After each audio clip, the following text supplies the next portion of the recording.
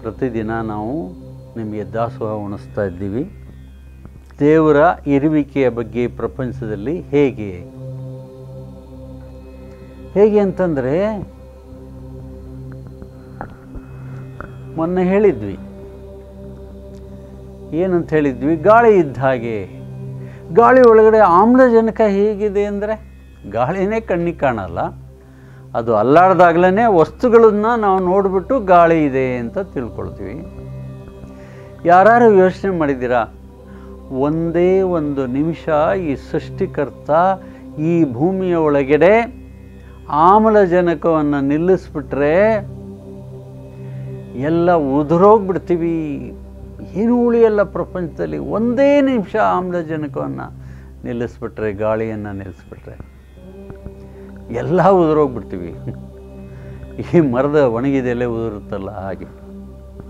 ಇಲ್ಲಿ ಪರಮಾತ್ಮನನ್ನು ಹೇಗೆ ಚನ್ನಬಸವಣ್ಣವರು ವರ್ಣಿಸಿದ್ದಾರೆ ಅಂದರೆ, ಫಲದೊಳಗಣ ಮಧುರ ಗೋಪ್ಯದಂತಿದ್ದಿತ್ತು. ಯಾವುದೇ ಫಲ ಬಿಡಬೇಕಾದ್ರೆ ಆ ಮರ, ಮರದೊಳಗಡೆ ಮೊದಲೇ ಮಧುರ ಗೋಪ್ಯ ಇರ್ತದೆ, ಅದು ಹಣ್ಣಿನಲ್ಲಿ ಬಂದು ಸೇರಿಕೊಳ್ಳುತ್ತೆ. ಆದರೆ ಆ ಮರವನ್ನು ನೋಡಿದಾಗ ಆ ಒಂದು ಮಧುರ ಗೋಪ್ಯ ಇದೆ. ಆ ರಹಸ್ಯವಾದಂಥ ಒಂದು ರುಚಿ ಇದೆ, ಅದು ಅರ್ಥ ಆಗೋದಿಲ್ಲ. ಚಂದ್ರಕಾಂತದ ಉದಕದ ತೆರನಂತಿದ್ದಿತ್ತು. ಚಂದ್ರಕಾಂತ ಶಿಲೆ ಅಂದ್ರೇನು? ಐಸ್ ಗೆಡ್ಡೆ. ಅದರೊಳಗಡೆ ನೀರಿರೋದು ಕಾಣಿಸ್ತಾ ಇರಲ್ಲ. ಅದನ್ನು ಕಾಯಿಸಿದಾಗ, ಬಿಸಿ ಮಾಡಿದಾಗ ಅಥವಾ ಅದು ಕರಗಿದಾಗ ಅಷ್ಟೇ ಅದು ನೀರಿದೆ ಅಂತ ಗೊತ್ತಾಗ್ತದೆ. ಅಲ್ಲಿವರೆಗೆ ಗೊತ್ತಾಗಲ್ಲ. ಈಗಿನ ವಿಷಯ ಕ್ಯಾನ್ಸರ್. ಕ್ಯಾನ್ಸರ್ಗೆ ಏಡಿ ಹುಣ್ಣು ಅಂತಾರೆ, ಅರ್ಬುದ ರೋಗು ಅಂತಾರೆ, ಏಡಿ ಕಾಯಿಲೆ ಅಂತಾರೆ. ಕ್ಯಾನ್ಸರ್ನಲ್ಲಿ ಎಷ್ಟು ವಿಧ? ರಕ್ತ ಕ್ಯಾನ್ಸರ್, ಬ್ಲಡ್ ಕ್ಯಾನ್ಸರ್. ಸ್ತನ ಕ್ಯಾನ್ಸರ್, ಗಡ್ಡೆ ಕ್ಯಾನ್ಸರ್, ಗರ್ಭಕೋಶದ ಕ್ಯಾನ್ಸರ್, ಹೊಟ್ಟೆಯ ಕ್ಯಾನ್ಸರ್, ದೊಡ್ಡ ಕರುಳಿನ ಕ್ಯಾನ್ಸರ್. ಇನ್ನು ಬೇರೆ ಅಂಗಾಂಗಗಳಲ್ಲಿ ಎಲ್ಲೆಲ್ಲಿ ಗಡ್ಡೆಗಳು ಊದ್ಕೋತವೋ ಅದಕ್ಕೆ ಮೆಟಾಸ್ಟೈಟಿಸ್ ಅಂತ ಬರೆದು ಬಿಡ್ತಾರೆ ಸಿ ಎ ಅಂತ ಬರೆದು ಬಿಡ್ತಾರೆ ಕ್ವಶನ್ ಮಾರ್ಕ್ ಹಾಕಿಬಿಡ್ತಾರೆ, ಆಮೇಲೆ ಕುಯ್ದು ಬಿಡ್ತಾರೆ ಅವಶ್ಯಕತೆ ಇಲ್ಲದೆ ಹೋದರೂ ಕೆಮೋಥೆರಪಿ ಮಾಡಿಬಿಡ್ತಾರೆ. ನಿಮ್ಮ ದುರಾದೃಷ್ಟ ನಮ್ಮ ದೇಶದ ದುರಾದೃಷ್ಟ. ಲಕ್ಷಗಟ್ಟಲೆ ಖರ್ಚು ಮಾಡಿಸ್ತಾರೆ. ಕೇವಲ ಕೆಲವೇ ಸಾವಿರಗಳಲ್ಲಿ ಖರ್ಚಾಗುವಂಥ ಒಂದು ಸಣ್ಣ ಕಾಯಿಲೆಯನ್ನು ದೊಡ್ಡದು ಮಾಡಿಬಿಟ್ಟು ಕೊನೆಗೆ ಐ ಸಿ ಯುಗೆ ಹಾಕಿ ನಿಮ್ಮನ್ನು ಕೊಂದೇ ಬಿಡ್ತಾರೆ.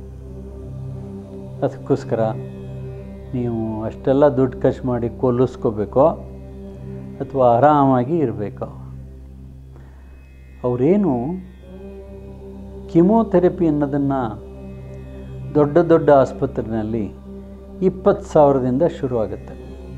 ಇಪ್ಪತ್ತು, ಮೂವತ್ತು, ನಲವತ್ತು, ಐವತ್ತು, ಅರುವತ್ತು, ಎಪ್ಪತ್ತು, ಎಂಬತ್ತು, ತೊಂಬತ್ತು, ಒಂದು ಲಕ್ಷ. ಇನ್ನು ನಿಮ್ಮ ಹತ್ರ ದುಡ್ಡಿದ್ದರೆ ನೀವು ಯಾರ ಕಾರಲ್ಲಿ ಬಂದಿರ್ತೀರಾ, ನಿಮ್ಮ ಉದ್ಯೋಗ ಏನು, ಎಷ್ಟು ದುಡಿತಾ ಇದ್ದೀರಾ ನೋಡಿಕೊಂಡು ಒಂದೊಂದು ಕಿಮೋಥೆರಪಿ ಲಕ್ಷದ ಮೇಲೆ ಬೇಕಾದರೂ ಮಾಡ್ತಾರೆ. ಅದಕ್ಕೆ ನಿರ್ದಿಷ್ಟವಾದ ಬೆಲೆ ಇಲ್ಲ. ಯಾಕೆಂದರೆ ಅದರ ಬೆಲೆ ಬರೀ ಕೇವಲ ಐನೂರು ರೂಪಾಯಿ ಅನ್ನೋದನ್ನು ಅರ್ಥ ಮಾಡ್ಕೊಳ್ಳಿ.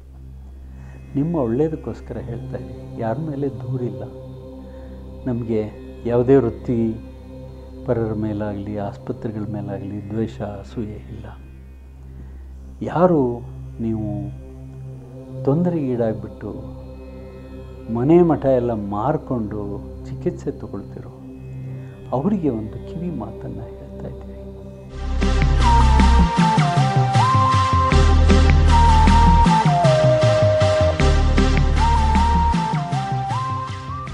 ನನ್ನ ಹೆಸರು ತಿಪ್ಪೇಶು ವಾಲ್ಕೆ ತಾಲೂಕು ಚಿತ್ರದುರ್ಗ ಡಿಸ್ಟಿಕ್ಕು ತುಪ್ಪದಹಳ್ಳಿ ನನಗೆ ಸುಮಾರು ಅಂದರೆ ಈಗ ಡಿಸೆಂಬರ್ನಿಂದ ನನಗೆ ಕ್ಯಾನ್ಸರ್ ಆಗಿದೆ ಅಂತಂದು ಹೇಳ್ತಾ ಇದ್ದರು. ನನಗೆ ನ್ಯಾಯಿಗೆ ಮೇಲೆ ಒಂದು ಸಣ್ಣದಾಗಿ ಒಂದು ಉಲ್ಲೆ ಹಂಗಾಗಿತ್ತು ಅದನ್ನು ನಾವು ಗ್ರಾಮಾಂತರ ಆಸ್ಪತ್ರೆಯಲ್ಲಿ ತೋರಿಸಿದ್ವಿ. ಅದು ತೋರಿಸಿದಾಗ ಸುಮ್ಮನೆ ಒಂದು ಈ ಮೆಡಿಕಲ್ ಶಾಪಲ್ಲಿ ಜೆಲ್ಲು ಅಂತ ಇಂಥ ಸಿಗುತ್ತಲ್ಲ ಅದನ್ನು ಹಚ್ತಾ ಇದ್ವಿ.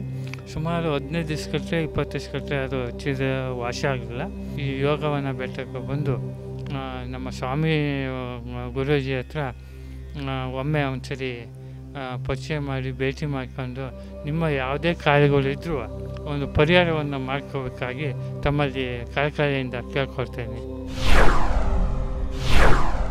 ನನಗೆ ಬಲಗಡೆ ಸ್ಥಾನದಲ್ಲಿ ಗಾಂಡೆ ಆಗಿತ್ತು.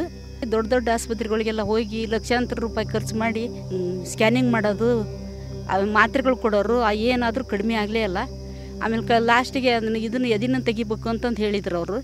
ಹಿಂಗಾಗಿ ನಾನು ಬೇಡ ಅಂತಂದು ಹೇಳಿ ಇಲ್ಲಿ ಯೋಗವನ ಬೆಟ್ಟಕ್ಕೆ ಹೋಗ್ಬೇಕು ನಾನು. ಸ್ವಾಮಿ ಹತ್ರ ಹೋಗಿ ಅವ್ರು ಏನು ಹೇಳ್ತಾರೋ ಅದ್ರ ಮೇಲೆ ಮಾಡೋಣ ಅಂತಂದು ಹೇಳಿ ಯೋಗವನ ಬೆಟ್ಟಕ್ಕೆ ಹೋದ್ವಿ ಅಲ್ಲಿ ಅಲ್ಲಿ ಹೋದ್ಮೇಲೆ ಸ್ವಾಮೀಜಿ ಅವರು ನನಗೆ ಮೆಡಿಸಿನ್ ಕೊಟ್ಟರು ಕೊಟ್ಟ ಮೇಲೆ ಒಂದು ಸ್ವಲ್ಪ ದಿವಸ ದಿವಸ ದಿವಸ ದಿವಸ ದಿವಸ ಸ್ವಲ್ಪ ಶಕ್ತಿ ಬಂದಂಗೆ ನನಗೆ ಊಟ ಮಾಡ್ಬೇಕು ಅನಿಸ್ತು.